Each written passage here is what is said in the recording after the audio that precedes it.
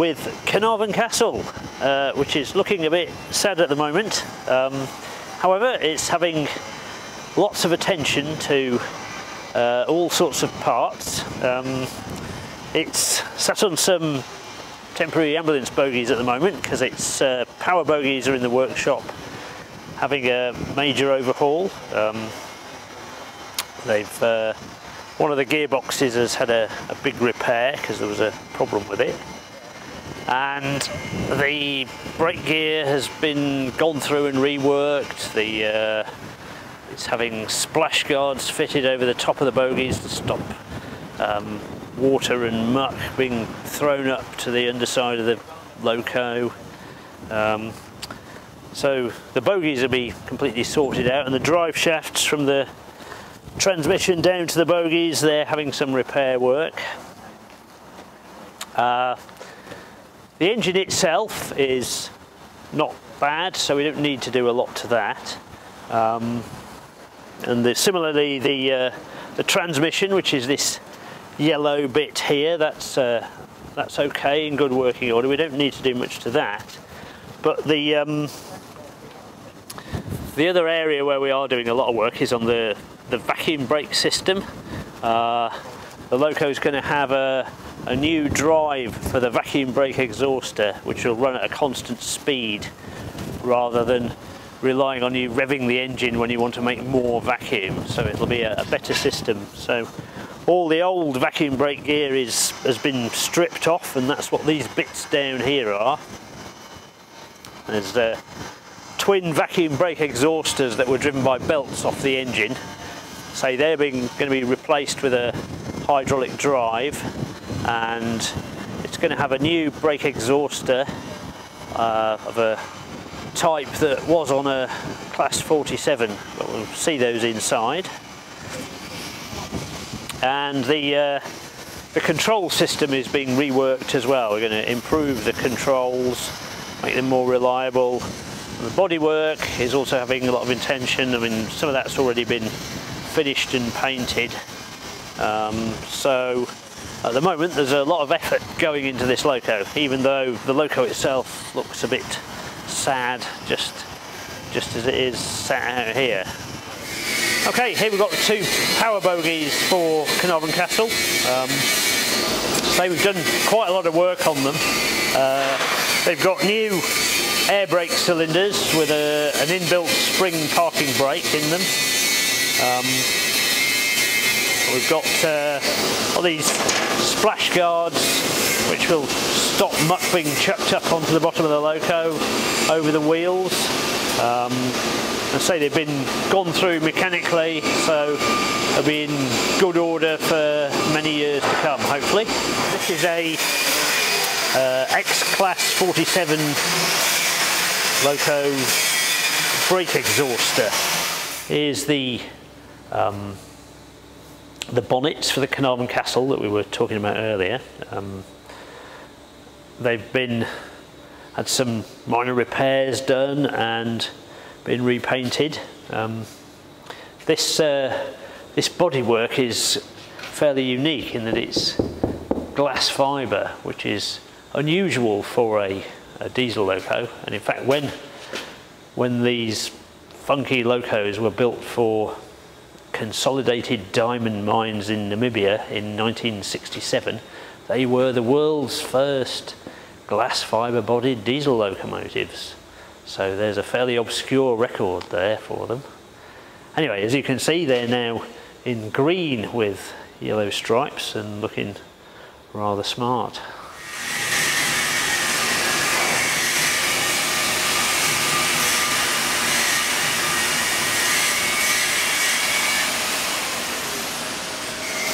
As you can see, Merddin Emrys um, is uh, having a bit of a repair. We had a minor boiler problem, so we've had to strip the cab sides off this side um, and uh, Barbar coded welder is uh, welding up an area um, but hopefully uh, that'll be be done by the end of today or tomorrow and uh, the loco can be uh, put back together and it'll be back in service. So just a, a minor job, thankfully.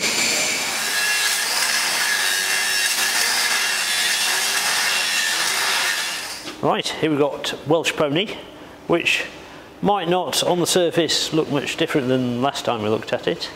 Um, however, there's a lot been going on and there's a lot going on at the moment on it.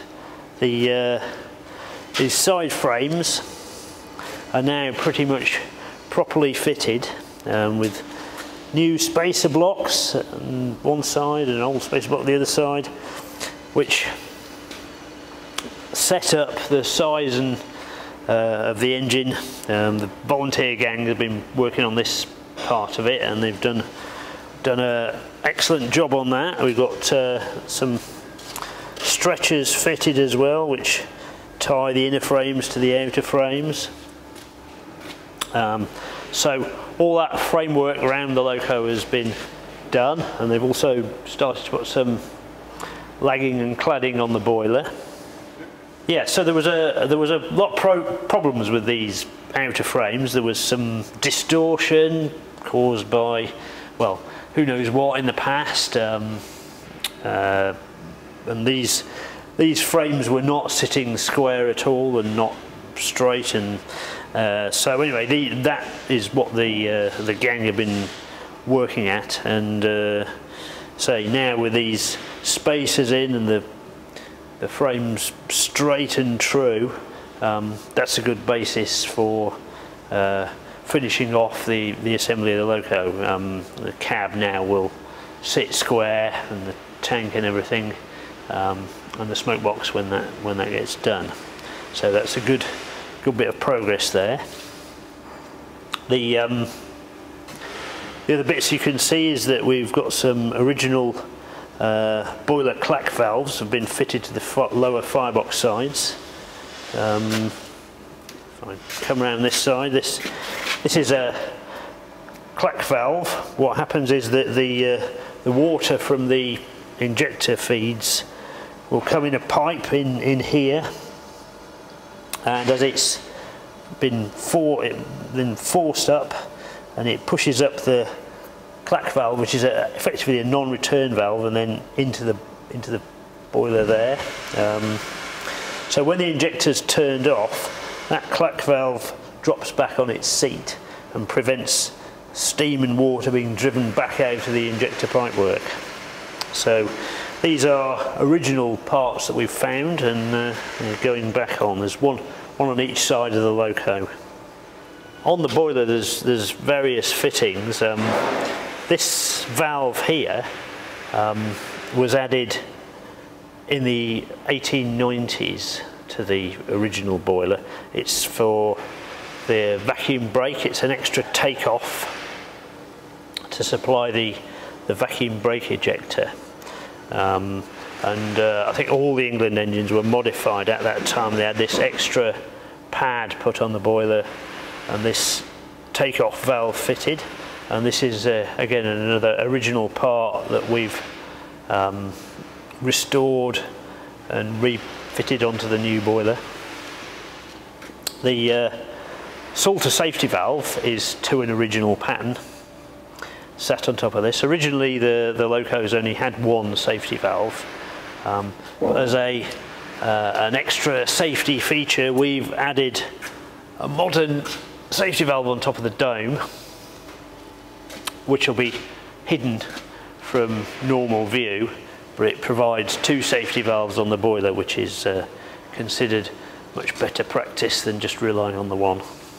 So we've got, um, as you see, at the moment there's no side rods on the loco, no coupling rod or connecting rod. Um, that's because we're making new ones. They're in the machine shop at the moment. Um, and the rods themselves have been fabricated and heat treated uh, and now they're in machining um, which is a fairly big job but uh, um, it's most of the way through now um, and the other parts that go with it are the, are the brasses they're, they're the, um, the ends that sit in the rods and actually form the bearings around the around the crank pins here and here. Right, in the machine shop, which is where we are, we've got uh, one of the Welsh pony rods. This is a, a connecting rod. You can see the far end just has a, a small eye which will have a hole bored in it and that will uh, have a pin through and that will sit in the crosshead so do the driving. At this end we've got the uh, eye. And you can see the inside of it's been machined out to take a, a rod brass. And uh, there's one of the there's one of the old ones, and there's some material here that's been cut and roughed out, ready to make the new brasses. You can see they're marked up which which bits they make. These are all ex-South African Railways wheel sets that came in bogies.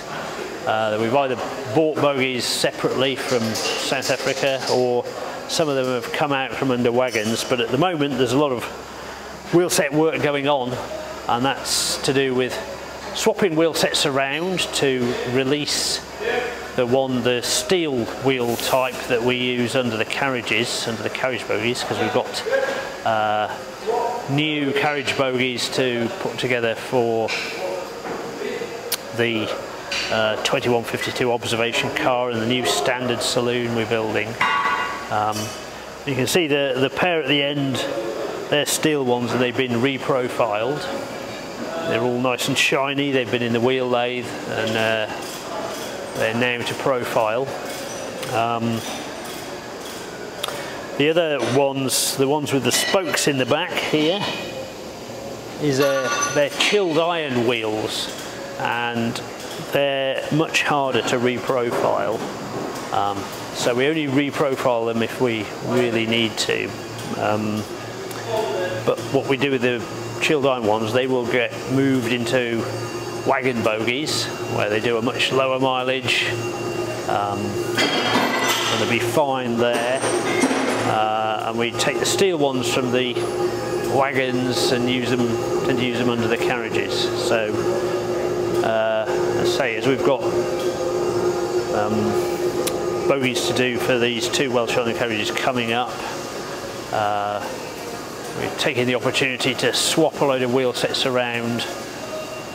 And the other work that's been done on these is that uh, the wheels have been shifted on the axles very slightly each side. All these wheels, wheel sets have been in the wheel press and they've been moved just one eighth of an inch in each side which matches the Ffestiniog Welsh Highland track rather than the South African tra track gauge. It's uh, a very small change but it just helps with the running and the longevity of the wheel sets and the rails. Here we have the front water tank and the bunker for Garratt number 87. Um, the rest of the loco is up at the works at Dinas. Uh, the boiler has come back from Israel Newtons in Cromford where it's had a 10 year exam and some repairs. So rest of the locos is going back together at Dinas but the the tank and bunker and the cab are here at Boston Lodge to be painted basically because we've got the proper paint shop space and uh, people to do that down here whereas at Dinas there isn't really the proper painting facility so as you can see the uh, the bunker and the tank and the dome which is in between them is they've all been finished um, in basically the original South African livery uh, with the SAR, SAS emblems on the side.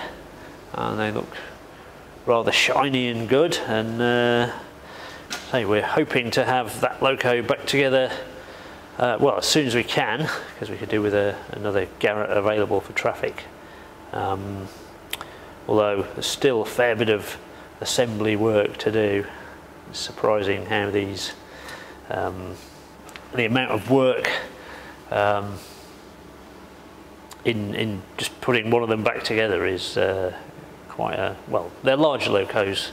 They're the biggest two foot gauge steam locos built. And uh, there's a lot of bits to go back together basically. Here's the cab for 87. Um, it's in, it's been shot blasted to clean up, get rid of all the old paint and it's had some repair work. Um, it's also had some slight modification because we've changed the brake arrangement on 87. Um, we've got uh, the handbrake and the vacuum brake is as the later engines. And that means the back of the cab can be reworked because the handbrake's in a, a different position. And we've added this bulge to the side of the cab. And that allows the you to operate the handbrake handle inside. So say the whole thing's now been shot blasted and cleaned up and painting has started you can see the cream inside and obviously the the outside will have some coats of nice shiny black to match the rest of the engine right so the Lyd has had the superheater repairs completed um, and uh, it's back available in traffic at the moment. Uh, it's been out recently pulling pulling trains. Um, although now we're actually thinking of uh, because the 10-year uh, boiler exam is coming up reasonably soon. We've been thinking about that, um, and uh, we'll probably be starting that this coming winter. Uh, the boiler will have to come out of the frames and be stripped down for a, an exam. So we've been thinking about once the boiler's out, there's various improvements that we've got. Um, we've been planning to do on it and make the ash pan uh, a bit better because the original, the well, the ash pan it's got was original, originally designed with dual firing in mind, oil and coal um, which compromises it slightly. So we've been uh, planning some modifications there and there'll be the usual mechanical work that can be done once the boiler's out of the frames as well. So that will probably be, say, starting the end of this year. Right, the Lilla group have been busy uh, with some help uh, putting the loco back together again. As you see, it was um, it's been all stripped down for a 10 year boiler exam, which was fine, had a hydraulic test. Um, now basically all the loco has been reassembled, all the fittings are back on the boiler. Um, as you can see, the tank and cab are on.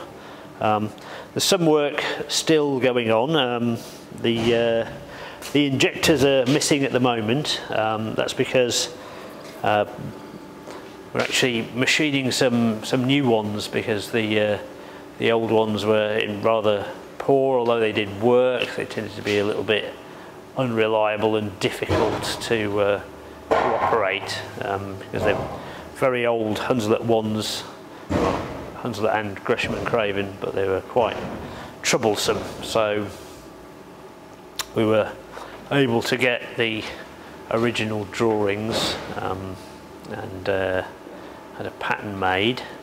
So those injectors will be going on when they're finished and the loco will be available again. In the meantime if loco is needed sooner it'll probably go go back together with the original injectors this is the uh, underframe and body frame for the next Welsh Highland standard saloon carriage um, which you can see is pretty well advanced. There's more bits to go on the ends, but um, the mid frame is done. You can see the brake gear over there, the vacuum vacuum brake cylinder. Uh, originally a South African Railways one and the vacuum brake reservoir. It's uh, ordinary carbon steel underframe. It's a box section which we welded together here and the upper frame is a stainless steel box section. The, the reason we use stainless steel in the upper frame is um, basically for corrosion resistance.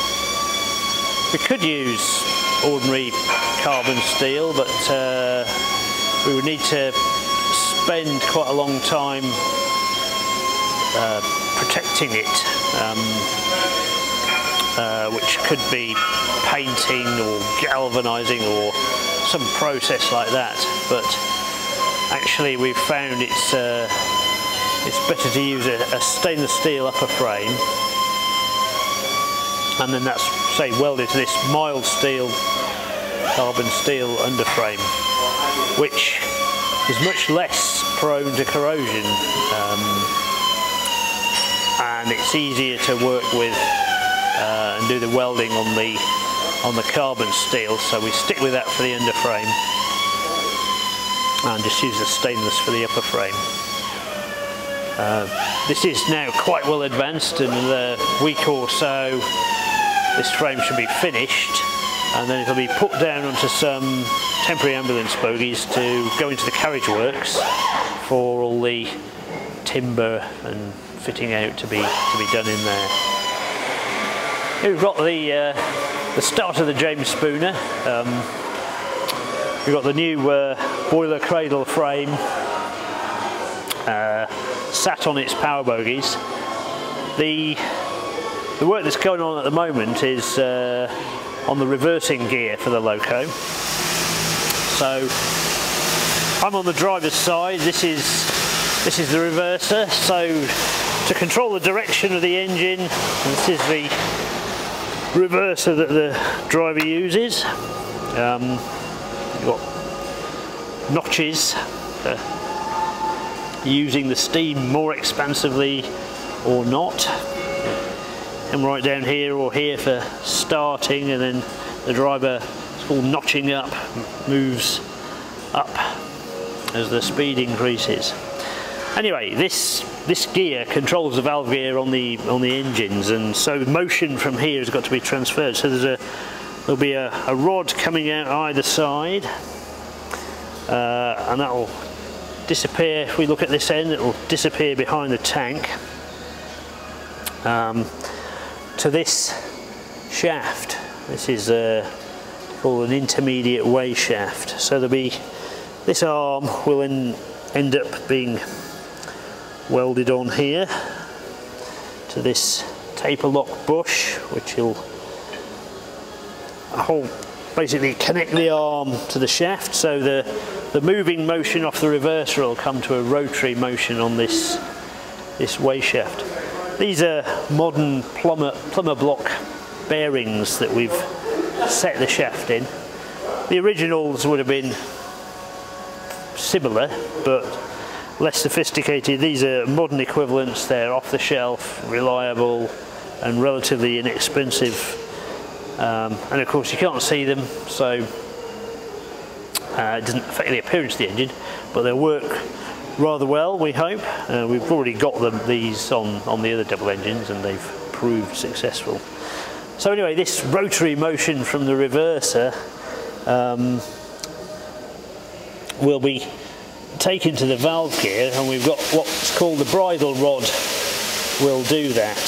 Um, so in the centre here uh, there's another arm to be welded on and then the bridle rod um, will go backwards and forwards as controlled by the driver and down in the middle there that's where it'll be attached to the link motion to control the valve events on the engine. But as you can imagine because this bogie moves as the loco goes on along the track um, these joints have got to be able to articulate uh, and move. So there's a swivel joint here and down there as well on the bridle rod when it's finished. But obviously now is a good time to do all this reversing gear work whilst the cradle is bare and before we've got the cab and tanks and well and, and the boiler in. So that's the bit we're working on at the moment. Um, and uh, in fact once this is done then we move to doing the handbrake gear, which will run across the loco in, in the middle here. Once that's in, uh, hopefully the boiler will be with us and hooked together.